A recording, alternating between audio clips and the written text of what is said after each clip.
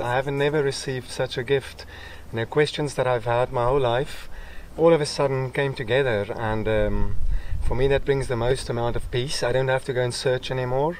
I can just be and I can just live, and everything has shifted. Uh, I definitely think my life has changed already, seeing that I got engaged here. uh, and also, there's a date for December 1st to get married uh, to my beautiful fiance who's back there packing. So, um, yeah, it's. Uh, I'm pretty excited about it. I think I can echo the same sentiments as um, as Riaan. A mythic voyage is kind of like matchmaker as well, in a fun way.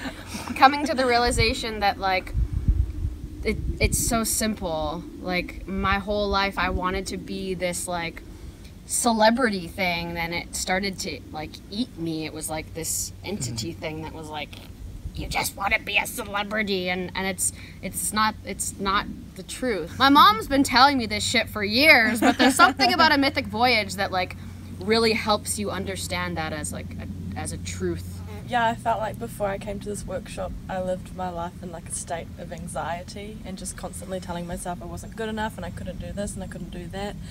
And um, coming here just kind of like gave me more clarity and realizing like i don't have to um, live up to be like a certain person in order to feel like good enough for other people. Like I can just be myself and live my life the way I want to live it and just be happy doing it. And like, yeah. no more anxiety.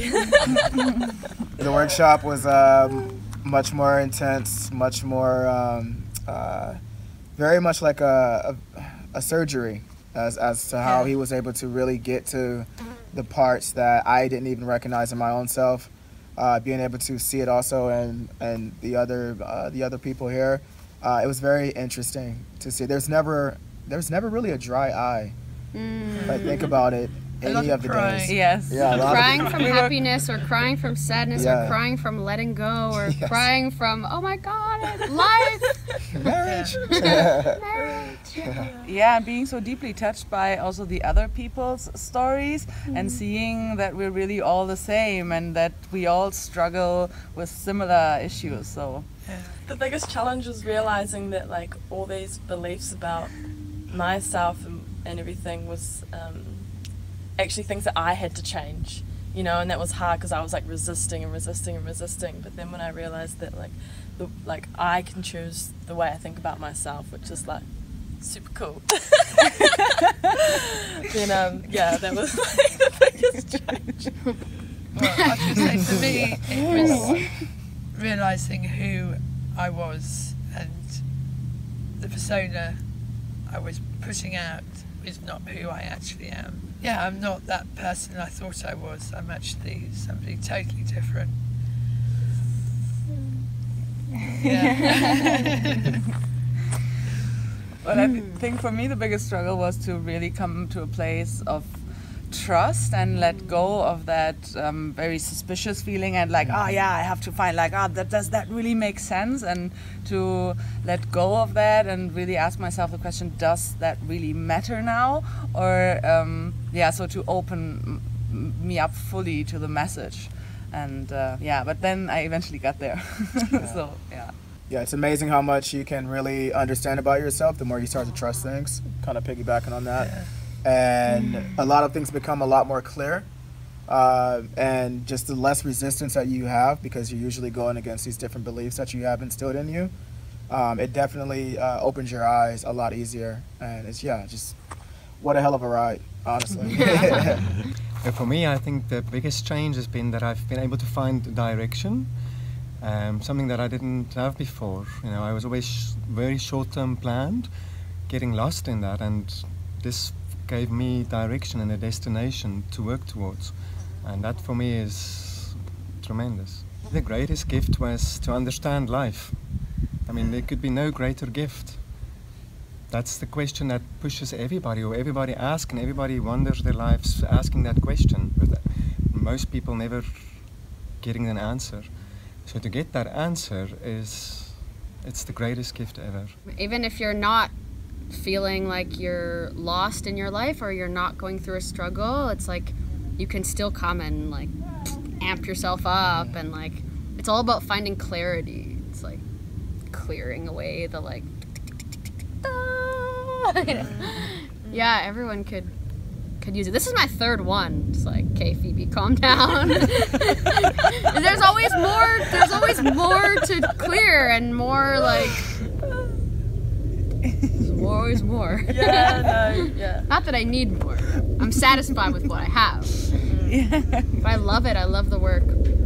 I love the work. Yeah, and it's yeah. And then when we leave is when the work actually starts. It's like it's not a workshop that you just come and like. It's like you, you do the work and then everything's fixed. It's like you get get the tools and then you go into your life and you got to keep. You have to basically live in a workshop your whole life to be Yeah. if you really want to conquer the world Yeah. with love. Uh, For me, and I want to say this as a doctor because um, over the last 10 years I've been losing faith in the medicine that I practice and I've been looking for tools because I didn't find the tools in the practices and I saw it in my patients. And um, I have to say this is the, this is the tool. This is the thing that we need. This is, this is why people come to the doctor, is because we don't have this. So for humanity, I would, I could not recommend anything more. As a doctor, I think this is crucial. this is how we're going to survive. If we don't do this, we will not survive. And um, I cannot think of anything more important. Can you write prescriptions? Someone comes to the doctor, comes to you, and they're sick, and then you're like, ah, Mythic Voyage. Here you go. I would love to. I think many people who've heard about it are also kind of intimidated because they hear that like all these deep things will be pulled out and they think oh in front of a group it's going to be embarrassing or um, and many people um, think or struggle whether they can have the courage to really come here and uh, yeah I would uh, want to encourage everybody to take that risk and because otherwise you just get stuck. You- You feel in a very safe environment. It's Yeah. not, you can talk about anything and not be embarrassed. You think you're going to be embarrassed, but actually, when you say it, it's almost like a relief.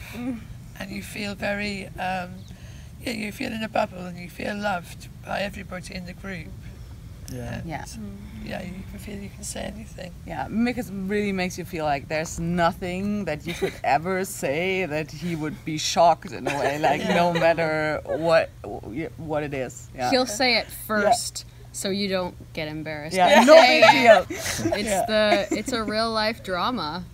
Yeah, hmm. It's the most It's like Yeah. it could be like the twelve toughest days or twelve yeah toughest days of your life, but at the end of it, like you've got this like whole new life of like Yeah. happiness.